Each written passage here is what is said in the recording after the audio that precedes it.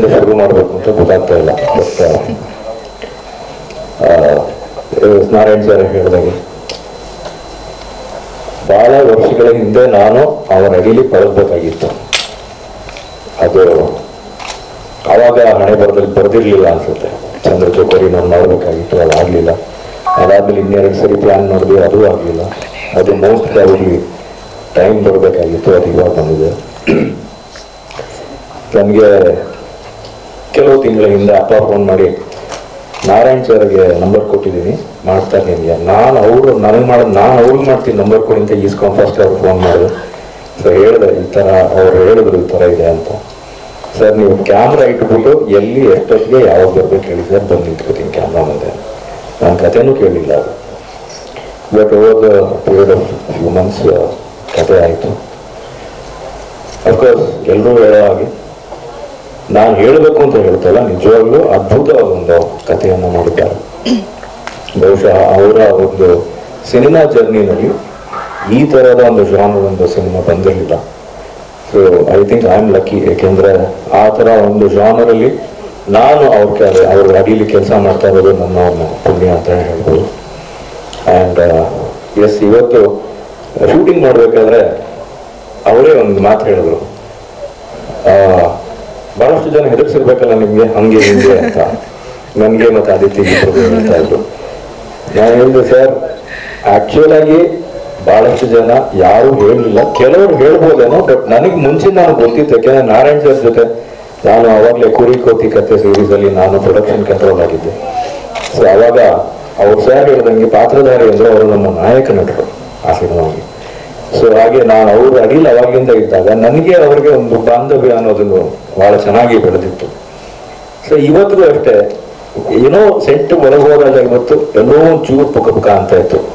ಹಿಂಗಪ್ಪ because senior director ಆಮೇಲೆ ಎಂತೆಂಥ super ಸ್ಟಾರ್ಗಳ ಜೊತೆ ಕೆಲಸ ಮಾಡುವಂತ ಡೈರೆಕ್ಟರ್ ಅವ್ರಿಗೆ ಫಸ್ಟ್ ಟೇಕಲ್ಲಿ ಹೆಂಗೆ ಅವ್ರನ್ನ ಹ್ಯಾಪಿ ಮಾಡಿ, ಹೆಂಗೆ ಖುಷಿ ಮಾಡಿಸ್ಬೇಕು ಅನ್ನೋದು ಒಳಗಡೆ ಒಂದು ತುಂಬಾ ಭಯ ಇತ್ತು. ಬಟ್ ಫಸ್ಟ್ ಸ್ಟಾರ್ಟ್ ಆದ್ಮೇಲೆ ಬಿಕೇಮ್ ಆ್ಯಂಡ್ ಮೋರ್ ಓವರ್ ಇನ್ನೊಂದು ಅಡ್ವಾಂಟೇಜ್ ಏನಂದ್ರೆ, ತಮ್ಮ ಆರ್ಟಿಸ್ಟ್ಗಳಿಗೆ ಹೇಗೆ ಕಂಫರ್ಟಬಲ್ ಆಗಿ ಅವ್ರನ್ನ ಟ್ರೀಟ್ ಮಾಡಬೇಕು ಅನ್ನೋದು ನಾರಾಯಣ್ ಸರ್ ನಮಗೆ I should thank you because ನಮಗೆ ಇವಾಗ ಅದಿತಿಗೂ ಮೋಸ್ಟ್ಲಿ ಅವ್ರು ಮಾತಾಡ್ತಾ ಅವರು ಹೇಳ್ತಾರೆ ನಿಮಗೆ.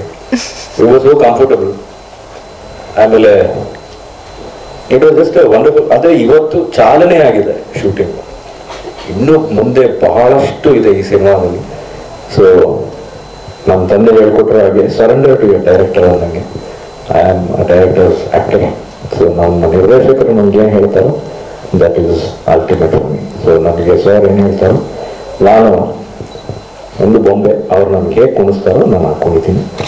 So but thank you very much sir ನನಗೆ ಈ ಒಂದು ಸಿನಿಮಾವನ್ನು ತಾವು ನೀಡಿದ್ದಕ್ಕೆ ಹಾಗೆ ನಮ್ಮ ನಿರ್ಮಾಪಕರು ಮಿಸ್ಟರ್ ಎಸ್ ಎಸ್ ಕುಮಾರ್ ಇಬ್ಬರು ಈ ಒಂದು ಸಿನಿಮಾನ ಅವರು ನಿರ್ಮಾಣ ಮಾಡ್ತಿರೋದಕ್ಕಾಗಿ thank you very much Ravi ಅವ್ರಿಗೆ. ಹಾಗೆ my last but not the least ಅಂತಾರಲ್ಲ my leading lady Aditi Jyoti madam ಜೊತೆ ಇನ್ನೂ ಶುರು ಮಾಡಿಲ್ಲ ನಾನು. So I going to be starting very so ಪ್ರತಿಯೊಬ್ಬರಿಗೂ ನನ್ನ ಸಿನಿಮಾಟೋಗ್ರಾಫರ್ ಕುಮಾರ್ ಆಗಿರ್ಬೋದು. ನಮ್ಮ ಈಗ ನಿರ್ದೇಶನದ ಹಾದಿಯಲ್ಲಿ ನಡೆಯುವಂತಹ ಪಂಕಜ್ ಇರ್ಬೋದು. ಪಂಕಜ್ಗೂ ಥ್ಯಾಂಕ್ ಯು ಎಲ್ಲ ನಮ್ಮ ಎಂಟೈರ್ ಡೈರೆಕ್ಷನ್ ಟೀಮ್ಗಾಗಲಿ ನಮ್ಮ ಎಂಟೈರ್ ಟೀಮ್ಗೆ thank you very much because everybody is very cooperative so ತುಂಬ ಖುಷಿ ಆಗ್ತಾ ಇದೆ ಆಮೇಲೆ ಇನ್ನೊಂದು ನಾರಾಯಣ್ ಸರ್ಗೆ ಇವತ್ತು ಹೇಳಿದೆ ಅದು ದರ್ಶನ್ ಇದ್ದ ಅವನ ಸಮ್ಮುಖದಲ್ಲಿ ಹೇಳಿದ್ರೆ ಇನ್ನೂ ಕರೆಕ್ಟ್ ಆಗಿರೋದು ಅವ್ನು ಡಿ ಫಾರ್ ದಾಸ ನಾನು ಡಿ ಫಾರ್ ಡೆಡ್ಲಿ ಇವತ್ತು ನಮ್ಮ ಸಿನಿಮಾ ಟಿ ಟೈಟಲ್ ಲಾಂಚ್ ಒರಿಜಿನಲ್ ಆಗಿ ನೋಡ್ಬೇಕು ಅಂದ್ರೆ ಅವನ ದರ್ಶನ್ ನನ್ನ ಒರಿಜಿನಲ್ ಹೆಸರು ದುಷ್ಯಂತ್ ಸೊ ಎಲ್ಲಾ ಕಡೆ ಡಿ ಬರುತ್ತೆ. So I think it was very memorable moment ಇವತ್ತು. ದಾಸ ಅಂಡ್ ಡೆಡ್ಲಿ ಟುಗೆದರ್ ನಮ್ಮ ದೋಸ್ತಿ for D so thank you very much and ಮತ್ತೊಮ್ಮೆ ಎಲ್ರಿಗೂ ಹೊಸ ವರ್ಷದ ಹಾರ್ದಿಕ ಶುಭಾಶಯಗಳು. ಎಸ್ ಎಸ್ ಟಿವಿ ಸಬ್ಸ್ಕ್ರೈಬ್ ಮಾಡಿ ಹಾಗೂ ಬೆಲ್ ಬಟನ್ ಅನ್ನು ಕ್ಲಿಕ್ ಮಾಡಿ.